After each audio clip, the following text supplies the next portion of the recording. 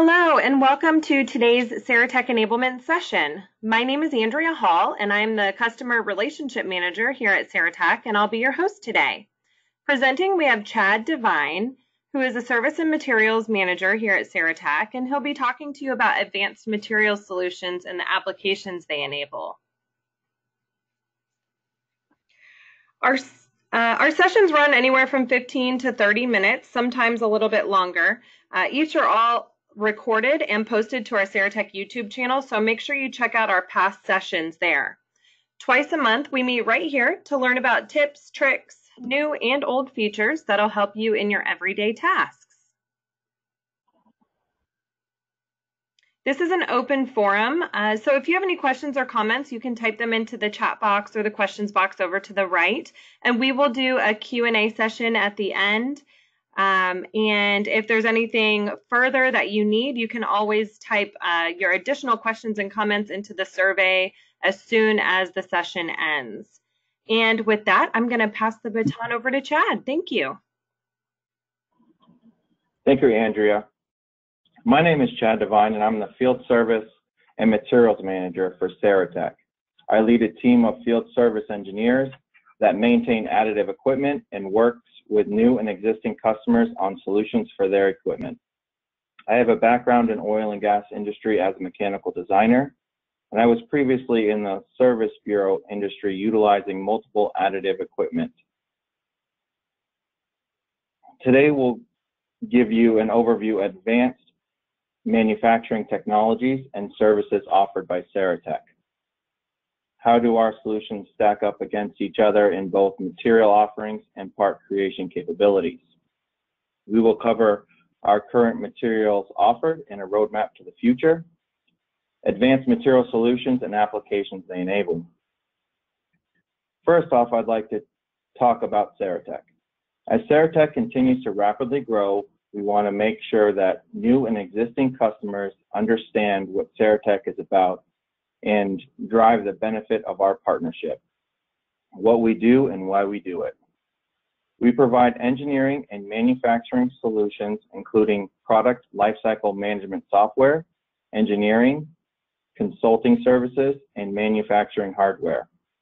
The Saratech team helps customers optimize their engineering and manufacturing processes by providing extensive product development expertise and technologies.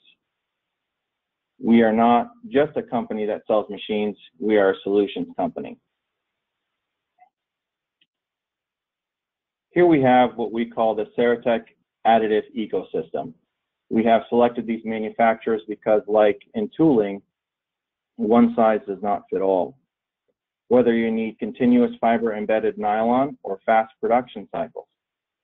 Maybe your project needs a life-size model, a lens that you can project through, or even automation driven metal manufacturing.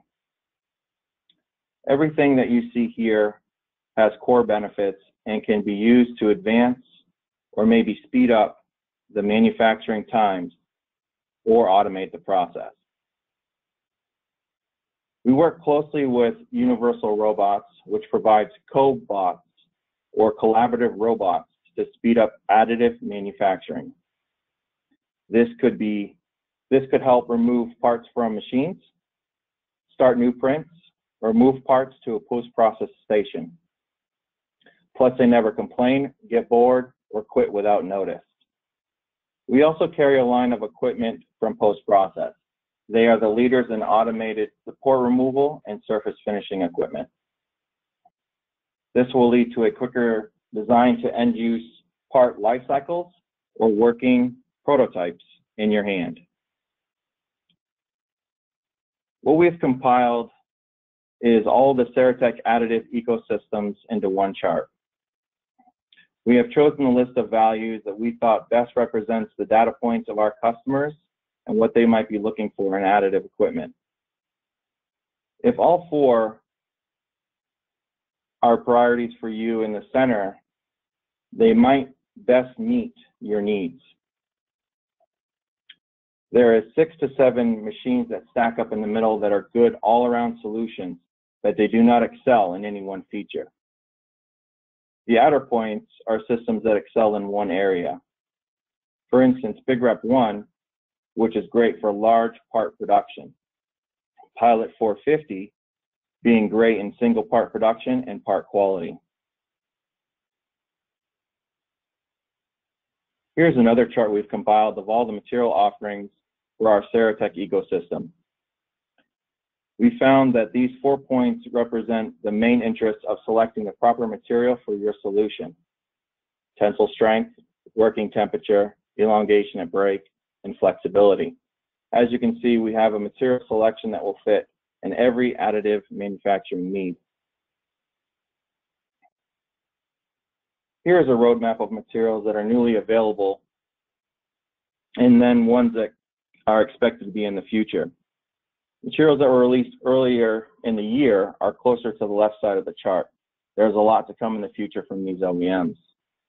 HP has announced that they will be shipping the new 300, 500 3D printers. They will be a multi-agent delivery system, with color being the first to be released.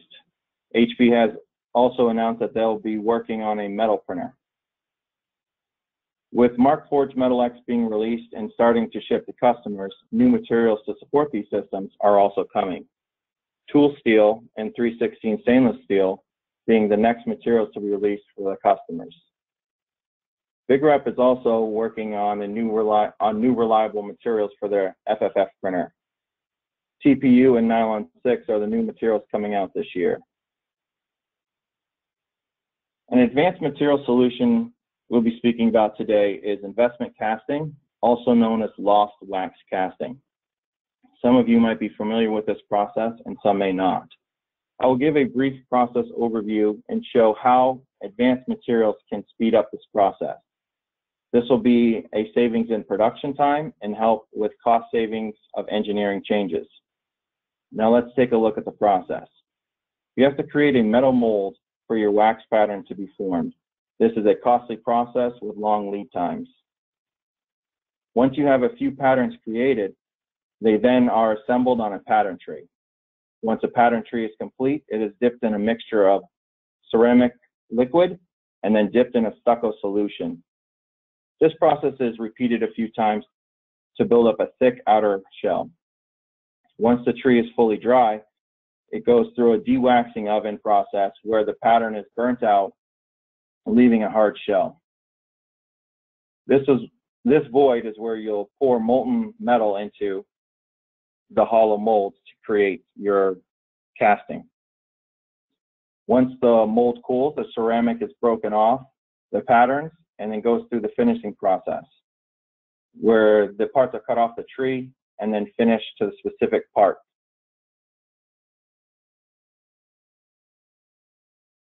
You may be asking yourself, what is an advanced material solution for lost wax casting?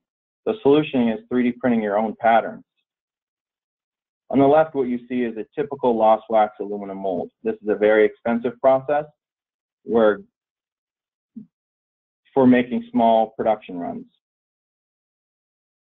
The tooling has a long lead time due to complexity of the machining of the mold. To speed up the lost wax process and cut down on costly tooling, the foundry can use a 3D printed pattern. This is achieved by printing and an additive 3D printer. The material must be antimony free and the parts need to be smooth to achieve a great casted part. On the right, the pictures show a honeycomb interior with rigid skins around the part. This will help with drain access material, making the pattern lightweight and strong. Having a sparse interior also helps with expansion of the, of the pattern so that it does not crack the outer shell.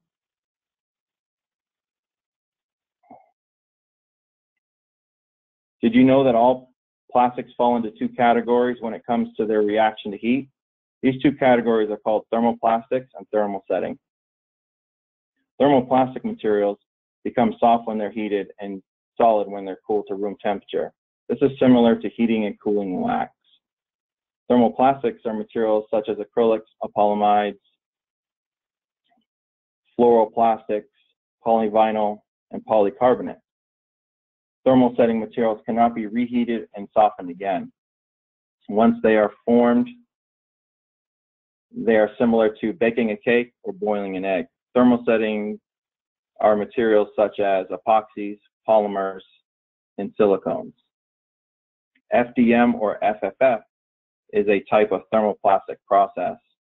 Stratasys Polyjet or SLA are both thermoset process.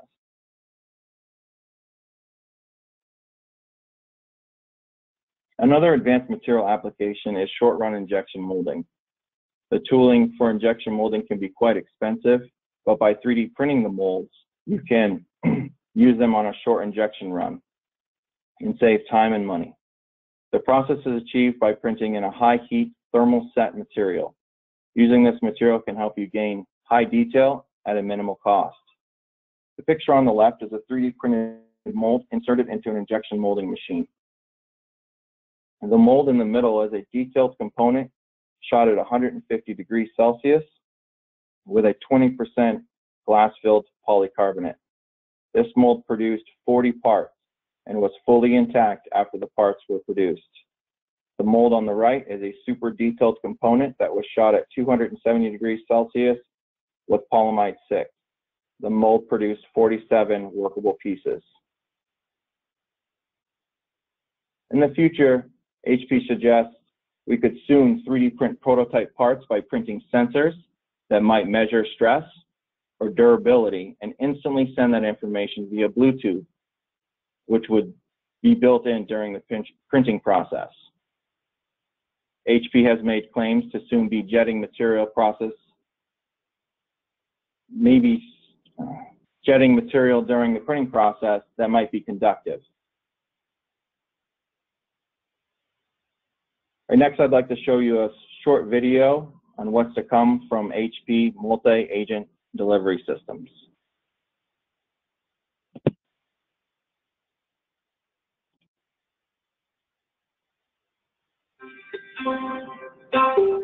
In 3D design and printing, a voxel represents a value on a regular grid in a three-dimensional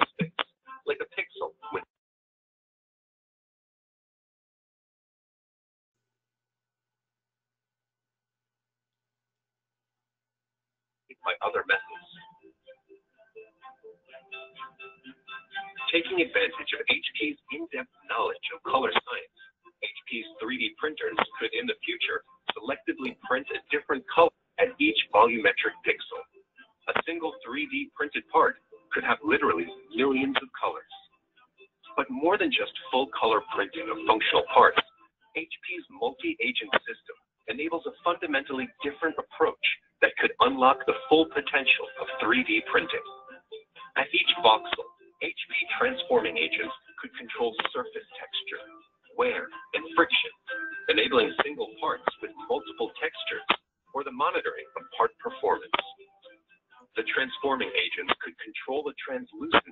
Each voxel, enabling the printing of lenses or sensors.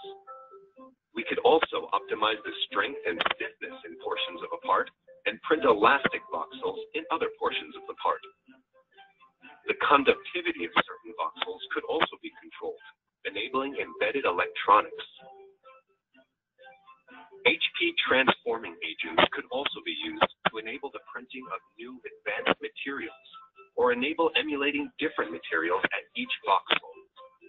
HP's multi-jet fusion technology could enable design and manufacturing possibilities that surpass the limits of our imagination.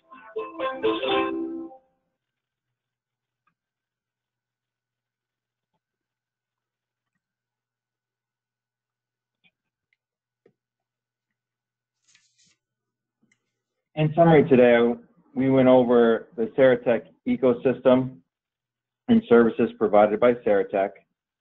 We showed two graphics that will help you narrow down your choices when making and choice on additive equipment. We spoke about what the future holds in materials and equipment. Lastly, we spoke about a couple advanced material solution applications, lost wax casting and injection molding. And now I'll turn it back over to Andrea. Awesome. so if you have any questions or comments at this time, Um, you can go ahead and bring them up. I'll go over a couple of things and give you a minute. Um, so if you're ready to take it to the next level, as you know, um, we offer Markforged HP and BigRep additive manufacturing. Um, so if you have any questions about whether um, which one might be a good fit for you, we have um, some of the best experts in the field, I believe. So um, no question is too big or too small. So please reach out to us if you're looking for engineering services, training, and especially software and additive manufacturing. We'll be posting the video, as I said earlier, uh, to our YouTube channel. Uh, so, and I will also be sending the link out to each of you. Uh, and as soon as we end this session, please make sure that you stick around for just about 30 seconds uh, and let us know how we did today. Any feedback is always welcome. Um, checking to see if we have any questions. I don't see any questions right now. So if you come up with any questions or comments, like I said, please feel free to leave them in the survey as soon as we uh, end the session. And thank you all so much for attending. Make sure that you follow us and, and subscribe to our YouTube channel. We're going to be posting lots of videos in the coming weeks, um, some short videos, um, and also longer videos. And then uh, you can find out about all of our events on our Facebook page and LinkedIn, uh, as well as Twitter. So thank you all again so much for coming and have a wonderful day.